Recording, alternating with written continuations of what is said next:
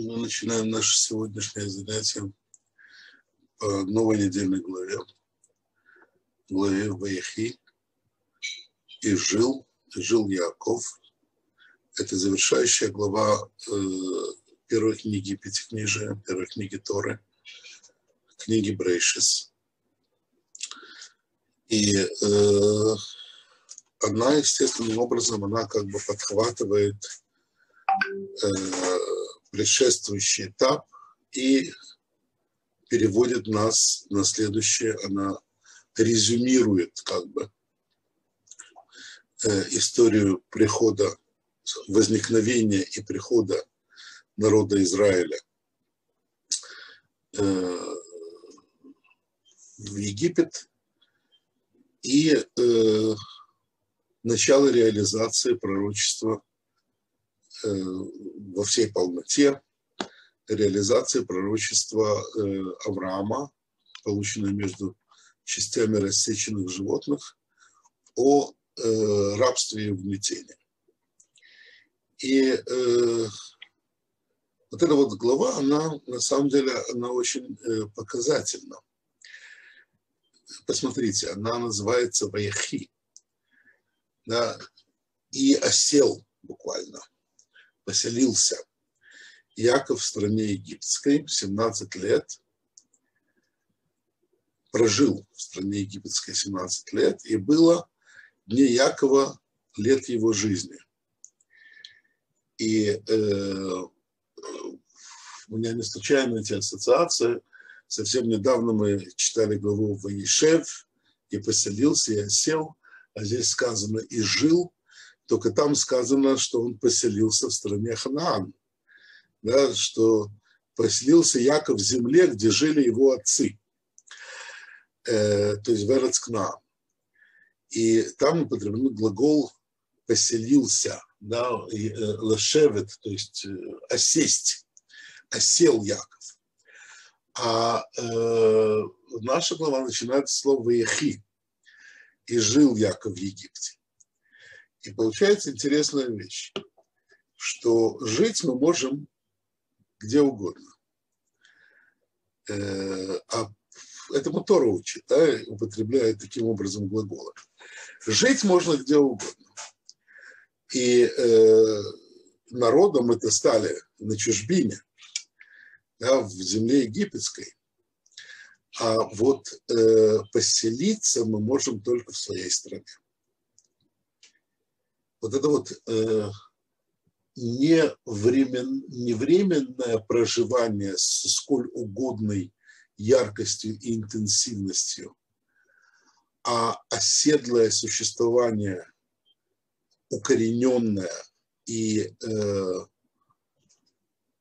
бесспорное, это только в Израиль, в земле Израиля.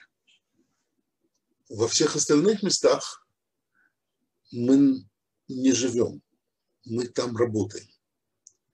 И хотя э, есть люди, для которых работа и составляет э, смысл и содержание их существования, но тем не менее это не меняет того факта, что и живут и работают они на чужбине.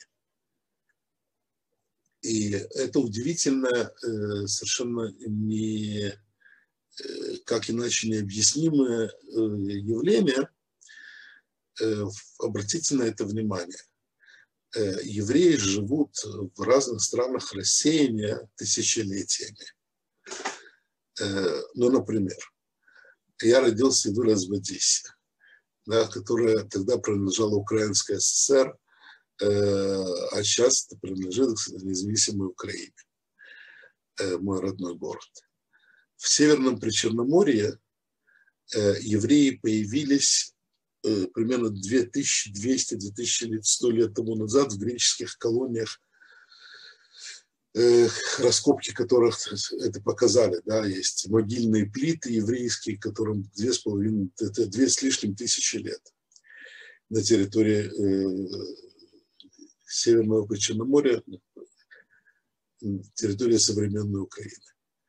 Э, никакой из народов, которые э, впоследствии поселил эту страну, э, тогда там не присутствовал, не существовал. Они все пришли гораздо позже нас. Непосредственно моя семья, она пришла естественным образом откуда-то из территории, которые принадлежали Австро-Венгрии, Э, на Волыне и Подоле мои предки живут последние, мною отслежены последние 220-230 лет. Э, уверен, что это гораздо больше. Э, но, тем не менее, никто и никогда не воспринимал евреев как однозначных аборигенов этой земли. Их их всегда воспринимали как пришлых. Хотя, э, если кто-то и пришел, то не они. Они там были всегда. А, и это и есть вот это вот ощущение, э, это вот странное, да, э, абсолютно нереальности оценки, да, кто, кто, кто как не мы, аборигены на территории современной Украины, там, Польши, Белоруссии, там, Германии, Италии и так далее. Тысячелетиями мы там живем и всегда живем как пришлые, как временные жители. И самое интересное, что это не только наше восприятие, но и нас так воспринимают. Или наоборот, не только нас так воспринимают, но и мы так себя воспринимаем. И э, это, это э, действительно некое вот такое доказательство э, истинности слов Торы. Воейшев поселиться мы можем только в Израиль. А жить, да, мы можем где угодно. И э, заголовок этой идеи, это э, заголовок нашей главы, Вейшев, он это некий ключ, он, э, Ревен на эту тему массу э, бесед провел, э, объясняя, как связано, как связано название главы с основной идеей всего текста. И здесь это тоже очень интересно, и стоит об этом помнить. Наша глава, она посвящена э, уходу Якова из жизни. Событиям, которые непосредственно предшествовали уходу, то есть как он благословляет детей, как он э, передает права первородства э, Иосифу вместо Реувена. Да, то есть его завещание, как бы, предсмертные пророчества, все связанное с этим, непосредственно смерть, захоронение. То есть она вся занимается э, как бы вовсе не описанием жизни. И тем не менее начинается очень жизнеутверждающий. Да? И жил там Яков и так далее. Предшествующая глава, когда говорит, и, я, и, и народ Израиля жил в Египте, в земле Гошин, они владели землями, они размножились, их стало очень много – вот тут уместно было бы завершить нашу предшествующую главу, главу Ваигаш, словами «И Яков жил там столько-то времени» там, и так далее. Да? А э, следующая фраза нашей главы, да, пришло время Якова умирать. Вот с этого вроде бы надо было и начинать новое повествование, потому что э, наша э, глава, она открывается как бы э, посухом, который теоретически продолжает ту же самую линию. И тем не менее в еврейской традиции да, она э, открывает новую главу. Что же хотят, что же хотят нам наши учителя, которые таким образом делили э, текст на смысловые такие э, отрывки, на главы, что же они хотят нам здесь сообщить? Есть такое э, положение в еврейской традиции. Э, все настоящее, оно неприходящее, оно не конъюнктурно. э, вот есть э, в Мишне, в Мишне пара, в одной из, в, в, в одной из Мишнаес, там сказано следующее, что если раз хотя бы, если э, для того, чтобы брать воду для очищения, необходимо, чтобы она была из источника, который не пересыхает, да, хотя бы ну, не чаще раза в, она не может пересыхать даже раз в 7 лет. Да. Ну, 7 лет это цикл такой. Да. Она не может ни разу пересохнуть в цикл. Потому что если она пересыхает, то это не называется вода жизни. Это не называется живая вода. Она называется маем козвин. Да, э, ложная, э, лживые воды. И настоящая жизнь, она тоже должна быть вечная, непрерывна. Все истинное вечно. И поэтому э, то состояние, в котором э, постоянно присутствует опасение, что одно прекратится, да, чтобы мы все время, как, как бы любой живой человек знает, что он закончится. И э, как там Булгаков сформулировал? Беда не в том, что человек смертен, а в том, что он внезапно смертен. Да, мы все, мы все э, живем в понимании, что наше существование должно прерваться на определенном этапе. И только Всевышнем об источнике жизни можно сказать, что он действительно живой. Не в биологическом смысле, естественно. Да не то, что говорил Энгельс, что жизнь – это способ существования белковых тел. А что такое жизнь, до сих пор я как бы не, не нашел ни одного толкового, э, толковой формулировки. Да? А Всевышнем мы говорим, что он хайве каем. Он живой и существующий. И понятно, что мы имеем в виду опровержение обратного, что он не живой, не дай Бог, и не существующий. И об этом сказано, что Всевышний Он истина, и его печать истина, связанная с Богом, оно непреложно и не конъюнктурно. Как говорит пророк Ирмияу. И Господь Бог есть истина. Он Бог живой и царь вечный все сотворенное, оно конечно. Всевышний нет. И тогда получается, что поскольку Всевышний, только Всевышний, вечен неизменен по определению, только к нему и относится понятие истины. Живой и истинный – это только Бог. Но тогда возникает вопрос. Мы, сотворенные, каким образом мы можем Э, жить. Тогда это не жизнь, это иллюзия, это смехотворно. Нет.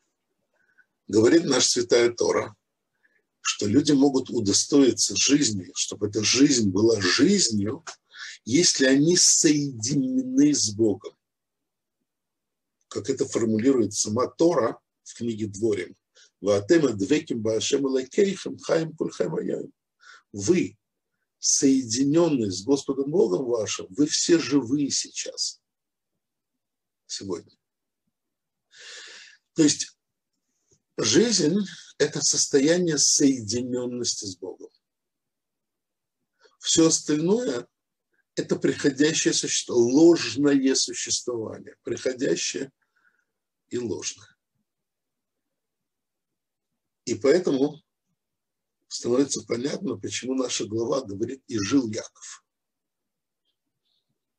Почему, говорящая о о предсмертных каких-то поступках и так далее, она говорит, Яков жил. Ведь на самом деле все это время, что э, человек живет в этом мире, ты не можешь быть уверен, в том, что это настоящая жизнь.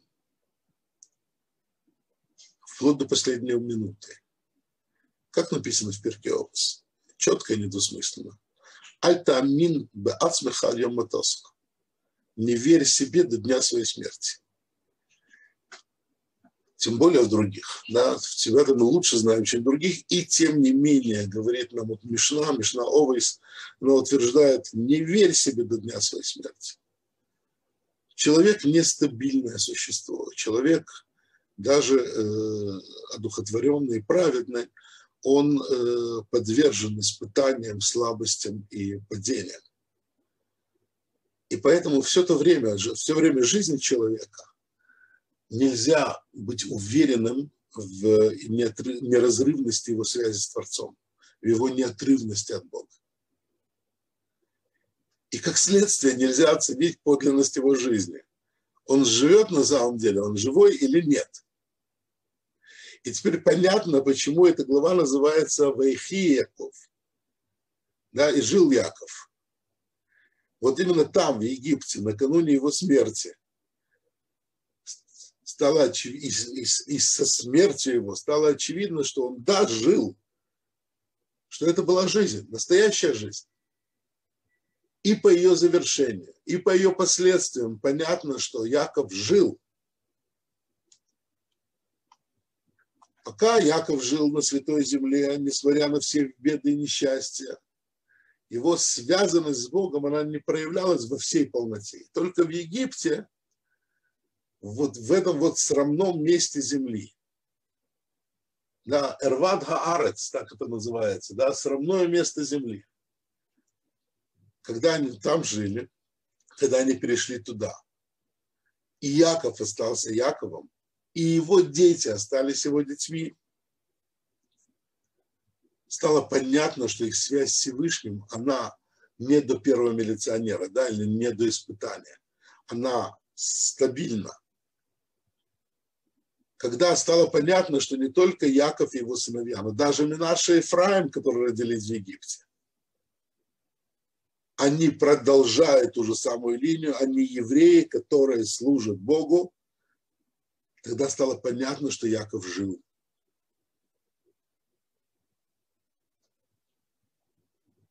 Именно или ретроактивно, или в момент тяжких, выдержанных испытаний.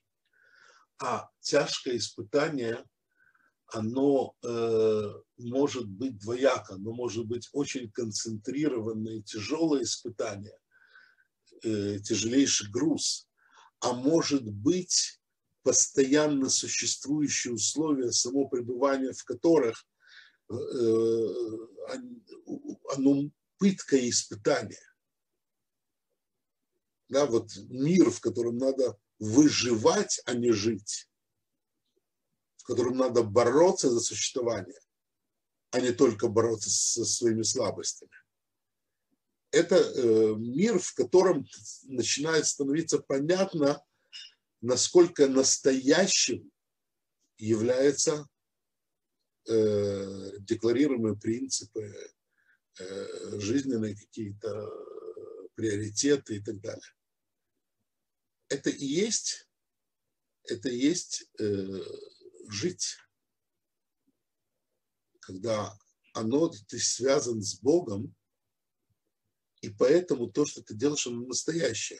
Факт, оно выдерживает испытания. Факт, оно имеет продолжение. Вот только вот тогда, когда вот оно, оно проходит вот эти этапы, можно, оглядываясь назад, сказать, жил, да, это жизнь. Именно тогда мы называемся живым. И поэтому, да, как в песенке это и поется, Ам Исраиль Хай, народ Израиля жив в Талмуде сказано, Янкелу вину ломес.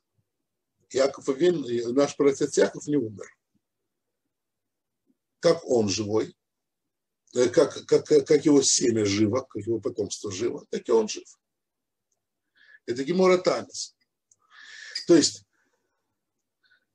мы видим, что народ Израиля, он во всех э, испытаниях и на протяжении своей истории он выжил за счет своей связи с Богом. У него нет ни других оправданий, ни другого источника своей жизненности. Он просто держится за Бога. Народ богоносец. И поэтому народ Израиля жив. А значит, Яков жив. То, что мы идем по его пути. Как напутствовали братья своего отца перед смертью.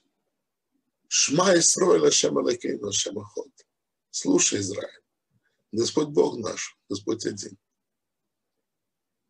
И с того дня до сегодняшнего дня, каждый день, утром и вечером, мы декларируем это. Слушай, Израиль. Да? И вот эта вот жизненность, которую мы получаем из этих слов, мы подпитываемся, мы держимся за эти слова. Потому что Хашем Алейкейхем Эмес, Господь Бог твой истина. Истина не конъюнктурна. Это никогда не поменяется, оно не может быть отменено, оно не может быть... Э, э, те, кто отрывается от этого, исчезают и доказывают этим самым, что они никогда и не жили. Вот это вот Вейхи Яков и жил Яков земле египетской.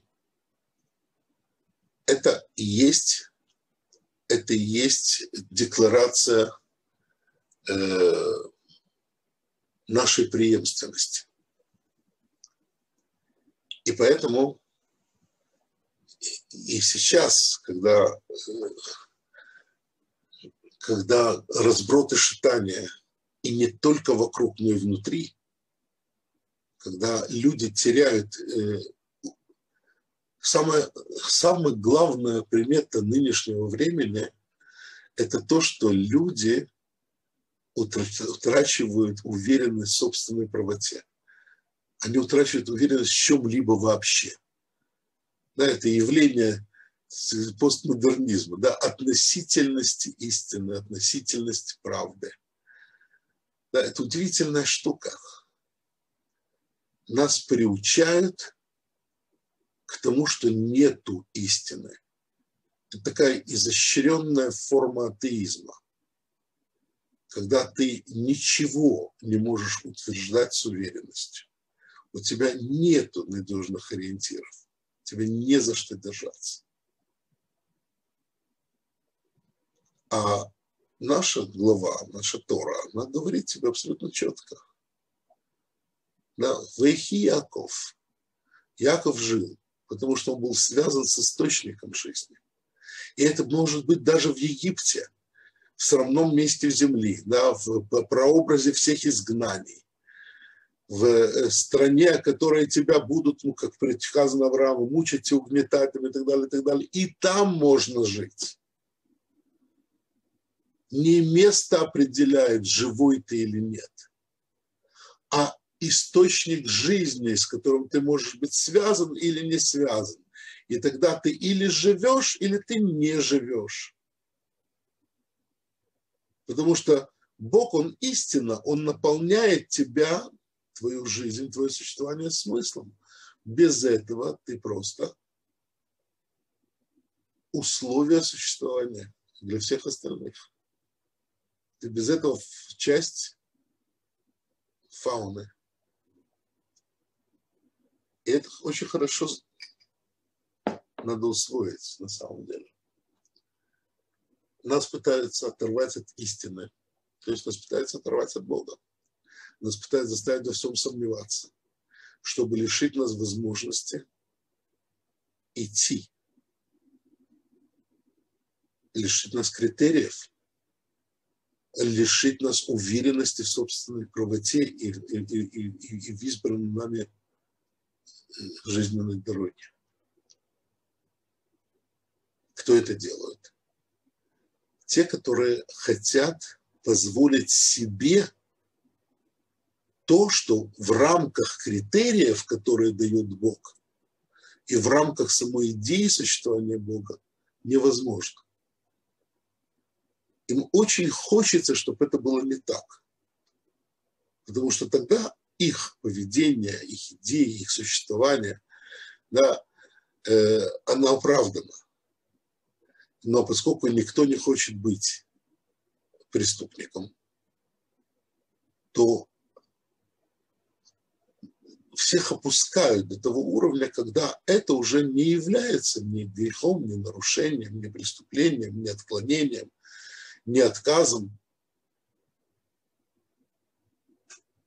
Это грязный способ. Ну, действенный. Мы это видим по тому миру, в котором живем. И дело не в том, в какое время мы живем или в каком окружении. Недаром же здесь сформулировано, да, что жил Яков в стране египетской.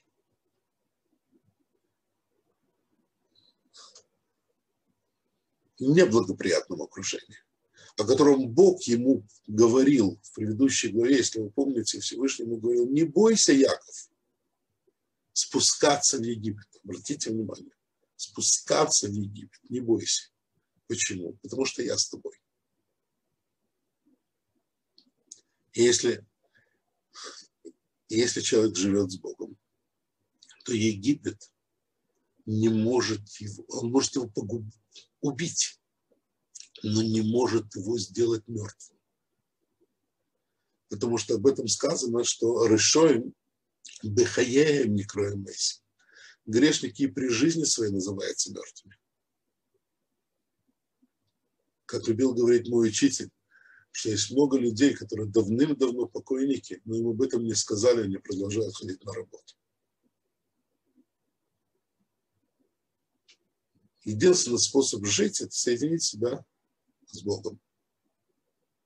А единственный способ, способ соединить себя с Богом – это наша святая Тора, которая рассказывает нам о том, что Бог хочет – что он от нас ждет, для чего мы появились на этом свете, откуда ты пришел и куда идешь. Вот я не хочу, я продолжу наш разговор на следующем занятии, я хочу начинать как бы новую, новую главу, но вот это мне было очень важно сказать. Именно Египет – это то место, где можно стать народом. Именно реальная жизнь, этот бурлящий котел, он может выплавить, отсеяв, убрав все примеси, все накопы, может выплавить чистый, чистый металл. Народ стал таковым из э, клана он стал таковым именно в испытаниях, в том, что они прошли в Египте, в том враждебном окружении, которое у них было, в тех нечеловеческих испытаниях, которые они прошли, они и стали народом. Это, это и есть это общность судьбы, которая соединила и сделала их едиными. И это было в Египте. То есть Египет – это страшное место, абсолютно необходимое для того, чтобы это была настоящая жизнь. Что э, именно в Египте, как это не парадоксально, мы обретаем себя в этих испытаниях, в этих э, в преодолении вражды, в непонимании мы обретаем себя.